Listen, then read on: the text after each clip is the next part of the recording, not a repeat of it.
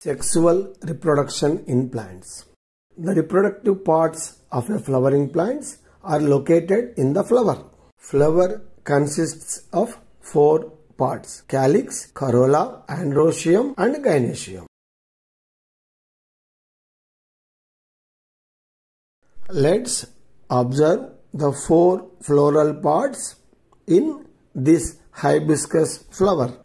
The outermost part is called sepal. All the sepals made calyx. It is usually green in color. The sepals protects the flower when it is developing the bud.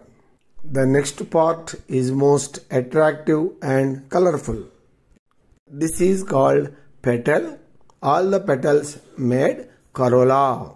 At the center of the flower, we find male and female reproductive parts. In this hibiscus flower, both male and female reproductive parts are there. It is called as a bisexual flower. The male reproductive part is called as androecium. In androecium, stamens are present.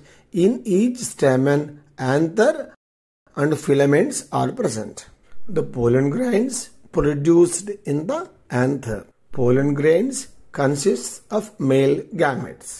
The female part is called as gynoecium. In this, the pistils are present. In this, each pistil or carpel, stigma, style, ovary are present. The stigma is usually hairy and sticky to track the pollen grains. The style connects the stigma to the ovary.